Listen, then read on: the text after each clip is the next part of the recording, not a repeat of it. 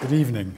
Um, I suppose I should explain my main motivation for being here tonight. Apart from the pleasure of seeing my good friend Andrew Lyon, um, you see here I'm at Birmingham University. Of course, this is a lie. I was at Birmingham University, but I've now moved to Spain. And what happens in Spain, of course, is it gets very hot and very sunny, and you're always looking for opportunities to cool off. so where better to cool off in Glasgow? That's my second motivation for being here. That's the one I don't tell people about. But anyway, I'm really pleased to be here, and we'll talk about this work at CERN. Um, as Carol pointed out, CERN and, and, the Atlas experiment is a, is a rather strange beast, okay? Um, essentially, uh, what I, I, will explain a little bit about what the experiment is, uh, and then I want to talk about the organization using a conceptual framework, which I've been playing around with for too many years to, I, uh, too many years to remember, frankly. But it's essentially um, I'm going to be looking at the construction of a detector. This is a, this is a machine that detects collisions and the tracks of particles that are accelerated to 9.9999% of the speed of light. I hasten to add, I'm not a physicist. Uh, I, I, nod a lot and I smile a lot when I'm interviewing physicists and I go, yes, yes. And they all think I know what they're talking about. And the answer is, well, you know, I pick up the odd word and then I put it in, I, I record it, I, I try and make sense of it. But um, essentially, it is one of four experiments that, is, that straddles the Large Hadron Collider, which is this 27 kilometer tunnel. I'll talk about that in, in a second. Um, the accelerator has pushed particles to the highest levels of energy ever recorded on Earth. So we're, we're talking about completely new stuff, new physical phenomena, okay? The detector is gigantic, I'll talk about that. And as Carol said, it's actually 3,000, uh, because it's a moving feast. It's, when, when I started work with them, it was 2,500. Now it's gone up to three. Uh, it was 138 institutes. It's now 174. So it's a movable feast, and it's a network. Um, and it is a very, very complex process. So one of the things we're interested in is how is coordination achieved in such a complex organization? And is there something we can learn about this uh, in other kinds of complex organizations. So you can think of cities in many ways as having the kind of complexity that you see there. And so, so it is an open question. I'm not going to prejudge whether you can. You're going to have to be the judges of this. I will present what I see in my work at CERN, and then we can explore, well, is there something here that can be transposed and is relevant to the kind of problems and challenges one faces in a city like Glasgow? Okay, so this is the, um, this is the Large Hadron Collider. Now, I want to assure you that when you fly over the city of Geneva, you do not see this tunnel. Okay, this is actually buried um, 300 feet underground. A, you're at the bottom of a 30-story building, and part of this goes under the Jura Mountains in France. Over here, you can just see the runway of Geneva Airport. So it gives you an idea of the size of this thing. So this is 27 kilometers in circumference. Um, it, it has, there were movements detected in this tunnel of about a millimeter, and these were due to the gravity effects of the moon, gravity pull of the moon. So it would vary by a millimeter, and they, they concluded this was lunar action. Uh, I just want to explain what happens, that particles, this is what you've just seen. This, you're, you're, you're, this is an aerial view, right? And you've got four detectors. There's one called ATLAS, one called CMS, which stands for Compact Muon Solenoid, one called LHCb, and one called ALICE. Four detectors. And the reason you got four is in science you have to replicate your experiments, because if you don't replicate, you can't prove the phenomena you're looking at. The problem is you can't go somewhere else and say, oh, let's build another 27 kilometer tunnel, because this, this tunnel costs $6 billion to build. So essentially, replication has to be done on the same machine. So you're going to use four different kinds of technologies, and you're going to see if one of them detects something called the Higgs boson, the others are going to try and replicate it and see whether they see it using a different technology, and that counts for replication. This is the machine. Uh, this is what a detector looks like. If you want to get a sense of its size, here are a couple of people standing uh, just over the tunnel itself. So this machine sits 30 floors underground weighs as much as the Eiffel Tower, has 15 million parts, and is the most complex piece of technology ever built, which is why it's interesting. So um, I've been working with the project manager of this, and I've been interested in how they are organized and what comes out of it. And so we're looking at, well, how do they produce knowledge? What kind of knowledge? What can we do with it? This is the, this is the organization. Uh, just very briefly, this is what we call the governance side. So there is collaboration board, a resource review board that looks at the money, and there's a kind of plenary meeting of the 3,000 physicists. Here you have somebody called a spokesperson. If this was a commercial company, that would be called a project manager. The reason he's called a spokesperson is that although he's responsible for this show, he has no managerial authority. I say he, this is an exaggeration. Today it's a she. Uh, it is a woman physicist who runs this, um, supported by a technical coordinator, a resource coordinator. Now, why is it that these people have no managerial authority? It's very simple. Down here you have the different research teams that are each responsible for one component of this detector. One of the, so you have, for example, a tile calorimeter, which detects the heat generated by a particle when it goes through a particular kind of material. Uh, then you have something called TriggerDAQ, which is about how do I detect the, how do I register the data from a collision. And you get about a billion collisions a second, and you're going to have to analyze those. You're going to have to analyze the trajectories using 20,000 computers that are sitting down in the tunnel next to the machine. And you're going to have to do that in one second. And then you're going to have to take 200 of the most interesting one of these collisions and farm them out to these 174 institutes. So this is quite a lot of work. Um, these people are employed by their institutes. They're not employed by CERN. They're not employed by the Atlas collaboration. The collaboration is held together by a memorandum of association, not a contract. So here's the problem. Um, uh, I'll come on to this. I'll, I'll be jumping in and out of slides. So the, the question is, how does a situation like this, where this spokesperson cannot give orders, manage to coordinate something as complex as this piece of machinery. This is an astonishing performance. And they've done it. So it's something which exists. It's not just an idea. And I want to just show you what the problems are looking at a performance spider graph. So a performance spider graph says uh, at the very center here is zero performance. This is zero performance. Out here is performance such as we've never done it before. So that's the tip of your spider graph. And then you can look and say, well, where uh, where are we trying to achieve performance? If you're outside that envelope, you're really in a, in a part, you're in a territory which nobody's been to before. If you're inside this dotted line, other people can do this. So you can see you're stretching. Think of a piece of elastic, and this thing is going out and it's stretching and it's stretching, which means as I, as I increase the collision rate, I've got an increased problem of detecting particles. Uh, so you can see there's an interaction. As, as I have a, an increased problem in detecting particles, I have an increased problem in data acquisition, registering and analyzing the data. So these things interact, and they interact in ways that they've never interacted before.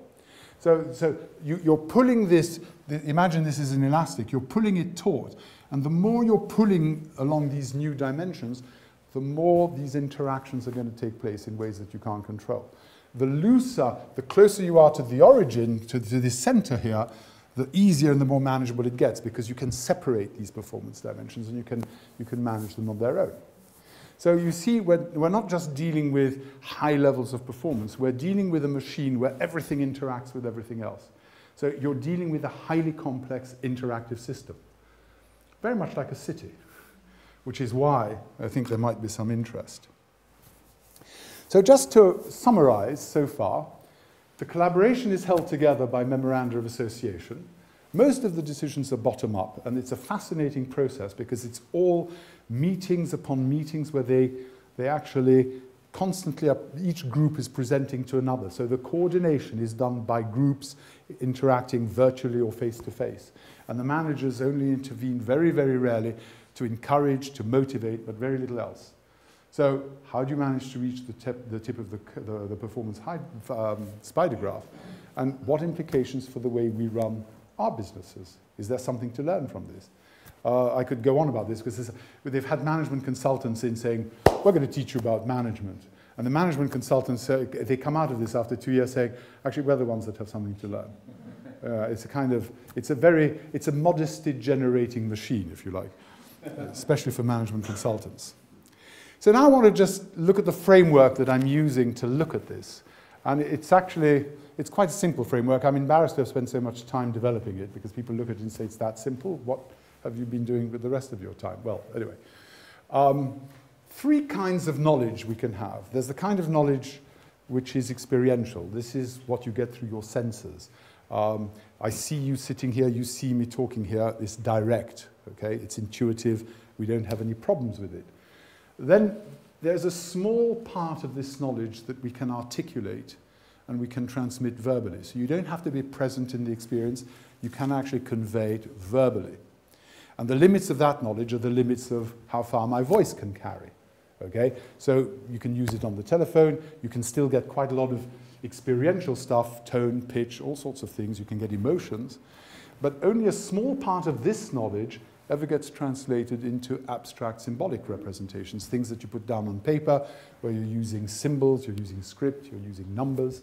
So you've got a kind of filtering process that says the closer you are to the here and now, the closer you are to this. And then you gradually, your knowledge becomes sparser as you move towards the abstract symbolic end, towards these very sparse representations. Um, you can put this on a scale, and this is what I've done here.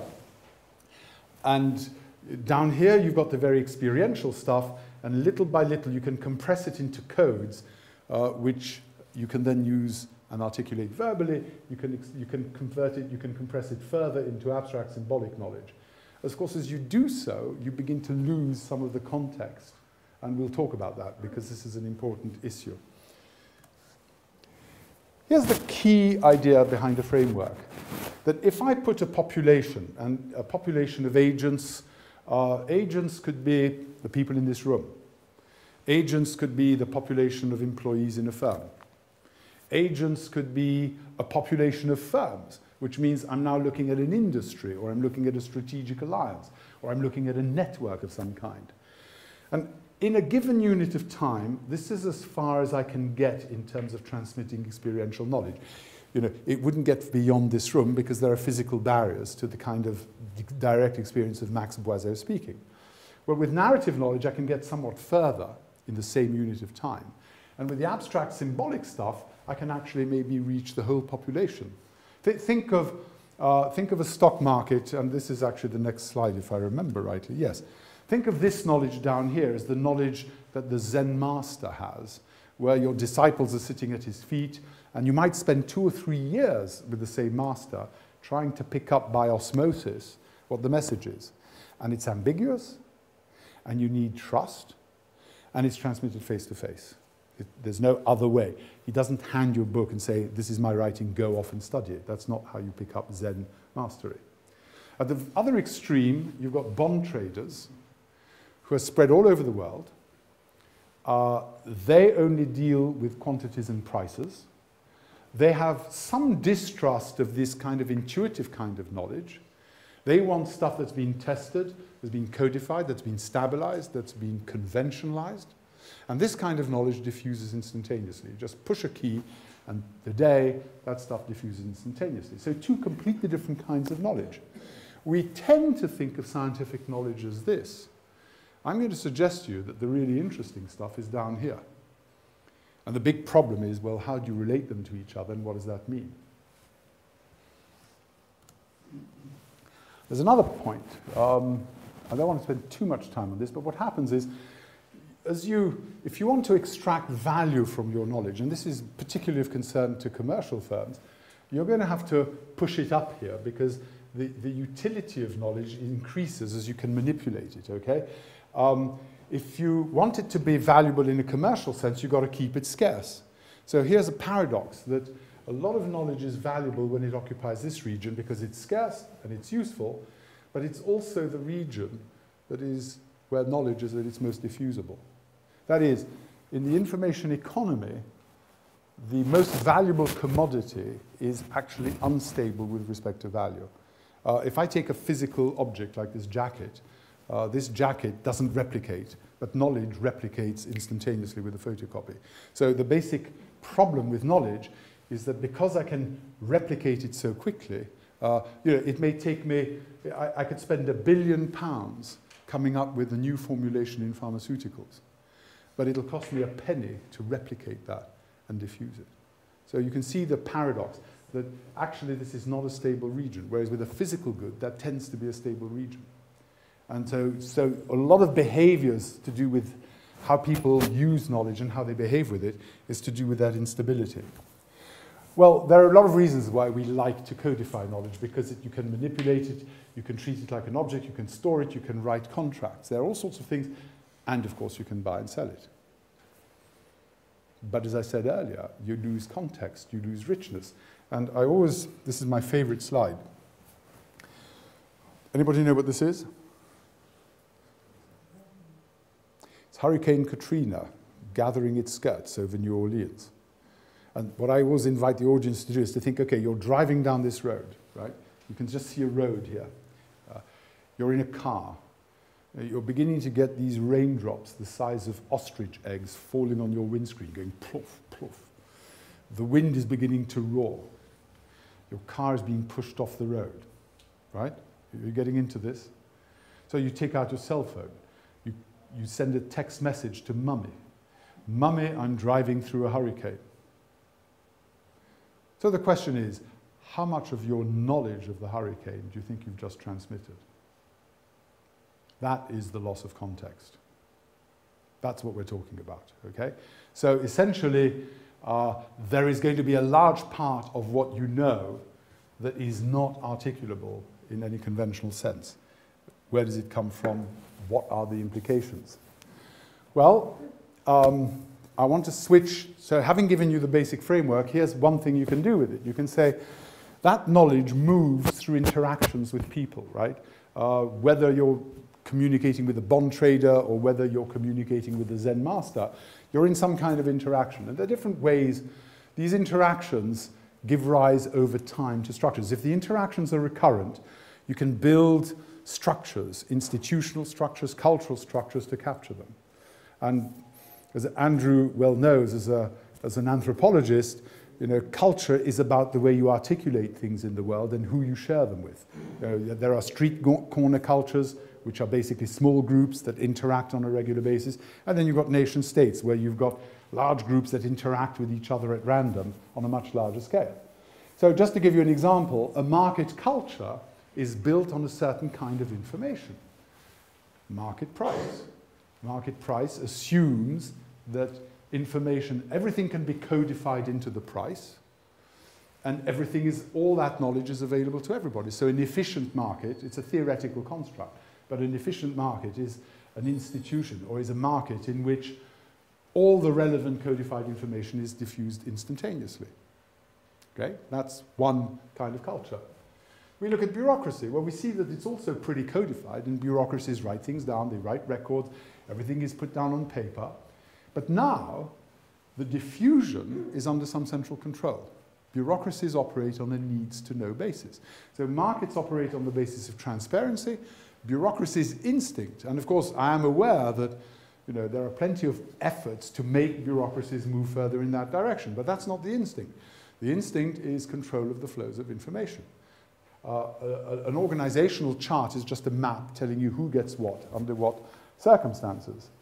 So if you come down the space, you notice that curve says, well, actually, this is not something to which information diffuses instantaneously because it's viscous. You're further down the space. This is much less codified. It's much more concrete. So what happens is, per unit of time, only a small group is likely to get access to that information. What happens? Well, the first point to make is that group is much more likely to be interacting face to face with people who know each other and share values than a market. That's the first point. The second point is that having that information is what distinguishes a clan from the outsiders. So clans have in groups and out groups. And very often the in group will solve its problems at the expense of the out group. So again, very, very different value system. Clans depend on shared experiences. We, professions have shared training. Uh, different combat units will have had a shared battle experience. Uh, if you've been to the same school, you will belong to an alumni group. So there are plenty of examples of what we mean by clans. And we can see that whereas in a market nobody needs to know each other, you don't need to know the bond trader who's just bought your bond issue. In a clan, are you one of us is the first question that's being asked. Okay, this looks very strange. What is it? Well, down here, we've got the kind of knowledge that is almost impossible to articulate. Um, it's very often unique. It's a source of what you would call charismatic power. Um, a Nobel Prize winner might have the kind of insights and the kind of knowledge here that give you that power. Um, maybe there are skills that you can't articulate, because if you could articulate them, then you'd start sharing them. So essentially, a fief, historically, is a space over which you have some kind of power, personal power or jurisdiction. So, you know, we talk about bureaucratic fiefdoms when over time the kind of knowledge you've acquired here gradually gets internalized and gives you that kind of unique knowledge of a particular part of the organization. And you can actually exploit it very often for personal ends. So fiefs are actually not necessarily negative or positive, but they're spaces over which you have personal power. That's all it really means.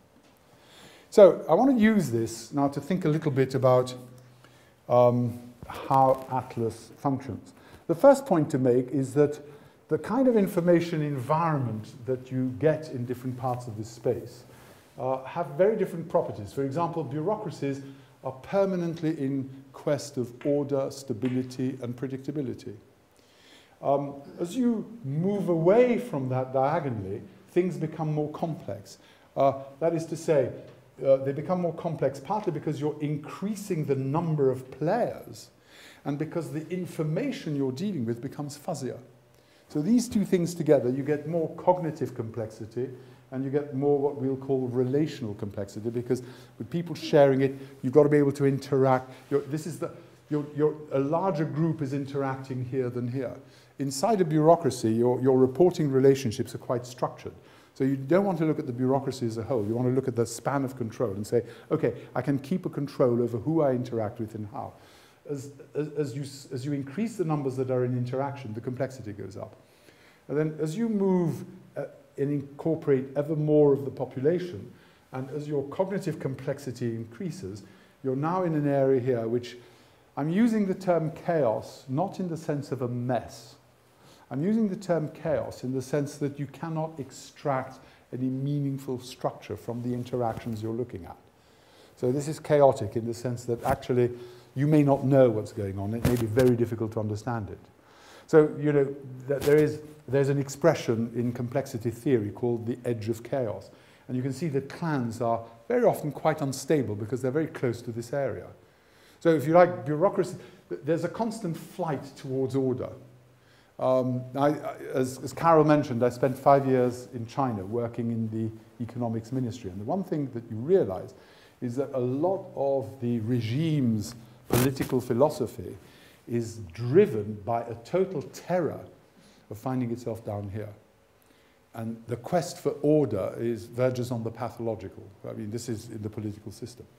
So it's a kind of interesting idea. The Chinese view of the world, their cosmology is there is chaos and there is order. There is no concept of complexity as some mediating form of institutional arrangement. I want to now just move to another point which is relevant to our story. What happens when you introduce information and communication technologies into the picture? Well, this is pretty important to certain story because, of course, as I mentioned to you, there are 20,000 computers sitting down in that tunnel. And there's a massive, uh, I mean, when you bear in mind that it was CERN that gave us the World Wide Web in uh, 1991. They built on the internet, what was then the Ethernet, and they built a system that delivered the World Wide Web. So information technology is a very big part of the picture. It's almost half of the value of these experiments is their ability to make use of computers. So this is a, here's what, one way you can look at it. You can say at any level of codification, the whole of that curve shifts to the right. Why? Because you've got something called a diffusion effect that says in a given unit of time, I could only reach this number of people with this technology. With information technology, I can now reach that number of people. So it's just a, a rightward shift in the curve. But now look at this second effect. In a given unit of, for a given size of population, I can now reach these people at this level of codification, as opposed to that level of codification, moving from here to here. What does that mean? It means, and I had direct experience of this when the fax was introduced in China. When, when I was working in China, we used to go and send telexes. There were about five telexes that foreigners could use in Beijing in 1983. So you get in a line behind other people who want to use the fax, other foreigners. And you've got a non-English speaking Chinese girl who's actually very competent at typing but doesn't speak any English. So she's going to type up your message. What happens? Well, there's a 50% error rate. So you get your message back, you say no, you go back to the back of the queue, you try again. The, when you try again, you, your message is shorter. Again, 50% error rate, so you compress your message again. So what are you doing? You're constantly moving your message up here in order to avoid the errors. Along comes the fax. No telex operator. I handwrite. And the thing was that with the telex, all my messages were to the European Union, who was running the, pro the program that I was in charge of. And so your messages are quite short, terse, and pretty impersonal.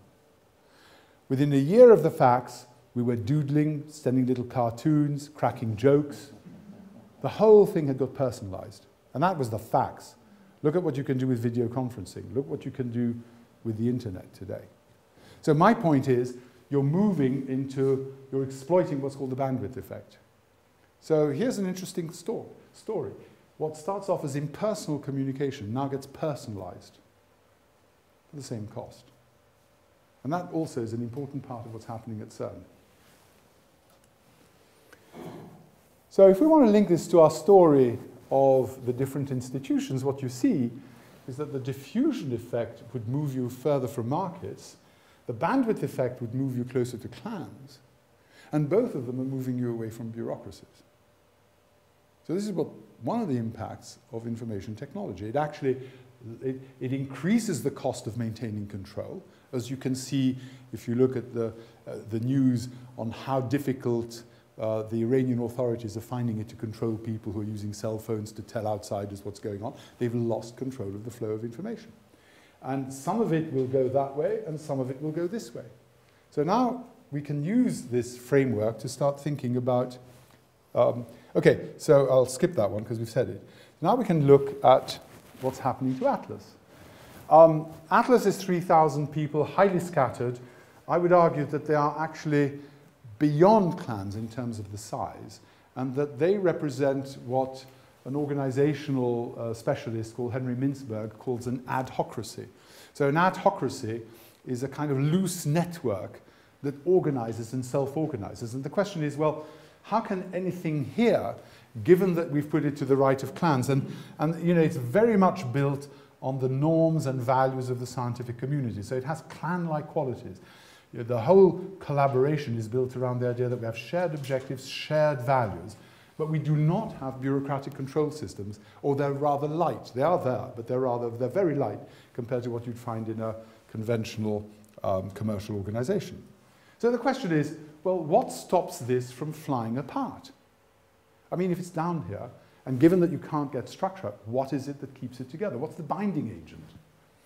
And this is the hypothesis that we're now working on. So here's a, just a few pictures to get you thinking about what we mean by control. So in a traffic light, you've got, a, you've got an object. Um, that, ob that represents authority, right? You know that. You feel it. You, know, you see a red light coming on, you go, whoop, and you put your brakes on. It's automatic. It's instinctive, okay? Um, the problem with those systems is that it can get a bit confusing as the organization grows. Okay? So, you know, it, it, wouldn't be too clear how you would react to a traffic light that you came across that looked like this. Well, put it this way, if, you, if it is clear, come and see me after the talk. I'd love to talk to you, okay? So, this is another kind of, uh, uh, uh the kind of problem that you have with hierarchical control. There are situations that just get too complex to be represented in simple ways. So, are there other ways of getting coordination? Well, of course there are. What about this? A roundabout. There is still an authority element. There's a rule, you know, give way to the right, etc. But essentially, that will cope with a, anybody who's been to Paris to the Place de l'Étoile will realize what looks chaotic to a pedestrian. By the way, don't try and cross as a pedestrian at the Place de l'Étoile in Paris, right? But essentially, um, you, you, there are some very simple minor rules, and the whole thing is self-regulating. So we call this a boundary object. It's a physical object that actually helps a coordination that under other circumstances would be regulated hierarchically. And this massively simplifies the process of coordination. And I live in Spain, and one of the things I've noticed in the last 15 years is a massive increase in the number of roundabouts that you see. So that, to my mind, is actually a signal that the country is becoming a little less authoritarian. You know, Franco died in 75, and it's only now we're beginning to see the, the boundary objects becoming a little bit more democratic, away from traffic lights and towards roundabouts. Okay? And so the suggestion is, okay, the reason you can handle the chaos is that this is actually a collection of boundary objects. I talked about these teams constantly coordinating and interacting with each other. What makes those interactions meaningful is that they're all able to focus, they have a common understanding of what a tile calorimeter is, what a liquid argon calorimeter is, etc., etc. So, so the object itself begins to generate its own coordination. Um, the, the Atlas experiment started in 1984 as a very rough set of simulations on a computer. Then those simulations became more detailed, and then they increased the number of variables and parameters. And then the thing got ever, ever more complex. And at a certain point, you began to introduce physical objects instead of simulated objects. So now you had a mixture of simulations and physical objects. And little by little, this physical object emerges from all these sequences of simulations. And so here are the different teams, and they relate to each other, and they relate to the object, and the object creates a shared understanding, a common language, a common understanding between them. And so, in a way, the object acts as a substitute for a coordinating bureaucracy. It is an object that we have here. It is no longer a human hierarchy. And so you can think of this as a kind of magnetic field where the adhocracy remains in the orbit around the object and the object organizes the adhocracy. Now, I, I hasten to add uh, this is a hypothesis that we're working on. It's, it's not something you can prove. This is a way of thinking about what's going on. What is interesting to me is that it's, it's very plausible to the players themselves. I mean, I tried out with the project managers, the people running the things. Yes, we think this is how it works. So we're still playing around with this, but this is where we're at in our research.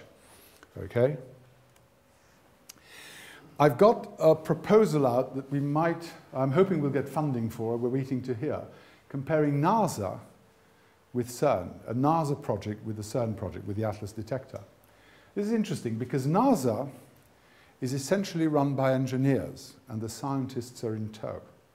So the kind of, what, what engineers do is they use whatever knowledge they've got in the most efficient way possible. So you're trying to deliver efficiency.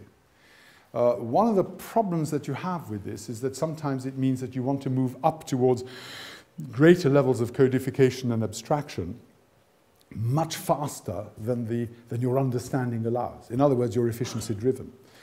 Uh, there are many people who've studied the Challenger disaster of 1986 and the Columbia disaster 10 years later, and who believe that actually the urge to codify and structure prematurely was a large part of the explanation of why those accidents happened.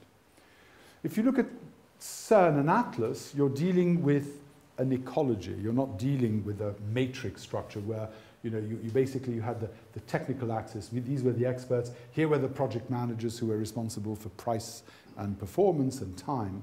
So this was a conventional authority-driven system, looser than a conventional hierarchy, but still an authority-driven system. This is a bottom-up, self-regulating process. Again, using a mixture of boundary objects, very light levels of authority.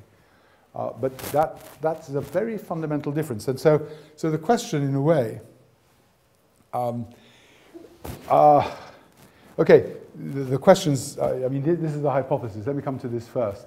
Uh, so the, the Atlas collaboration is navigating multiple stakeholder cultures because you've got 20 members of CERN, member countries, and you've got many, many more who are participating in the actual uh, collaboration. And they're, they're operating under different mental models, different models of what, of the, what their loyalties are. So you're really dealing with a, a, complex cultural ecology. And as I said, as I said before, essentially trust and shared values seem to be the binding agent that are allowing this level of complexity to occur. Okay? So, so essentially, uh, I'm arguing that the detector acts as a boundary object that binds a cultural ecology into a complex adaptive system. So just to finish up, um, I'm going to skip this because I think it's going to take us uh, away from what I want to say. Um, you can look at a city like Glasgow as a complex adaptive system. The edge of chaos does not mean chaotic. It means it's perched on the edge of chaos. In other words, uh, you self, I mean, there, there is a thing in complexity theory called self-organized criticality, which says actually at the edge of chaos you get a certain amount of self-organization. I'm not going to go into how that happens or why it happens. I don't think we actually understand it too well. Um, but essentially, I would argue that a city also provides a collection of boundary objects. And then the question is, well, what are the self-organizing possibilities of these collection of boundary objects? Um, I, I've become aware through my discussions with Andrew of something called the Glasgow effect, okay? And my hunch, and it is up for discussion, is that it might be interesting to see uh, to what extent there are available resources in the forms of boundary objects in any urban environment, and Andrew would call those urban assets, I think would be the term he would use, um, that might actually help to address the problem. In other words, instead of framing the Glasgow effect as a problem that we have to, we have to coordinate and we have to manage in a conventional way, are there ways of dividing up the labor with objects in our environment that will take some of the load for us? Um, and I think, you, you, I mean, in a way, much technology has the same quality. Uh, much technology is a form of scaffolding that allows us to do things that we want to do. Well, I don't want to use the term technology because it sounds too techy. I just think that a city is a physical collection of objects that has many of these properties. Um, you can, and, and you know, the, the, the thing is that some of these are tremendously self-organizing. I mean, you can think of vernacular architecture as an implicit understanding of the rules by which the city keeps generating itself. So there are going to be ways of thinking about this that I'm deeply interested in because my original training was as an architect and as a planner before I got involved in this weird kind of stuff. And so I am actually interested in exploring this. Um, and that's, that's pretty much it. I think I'm, I'm leaving it with the questions open for discussion.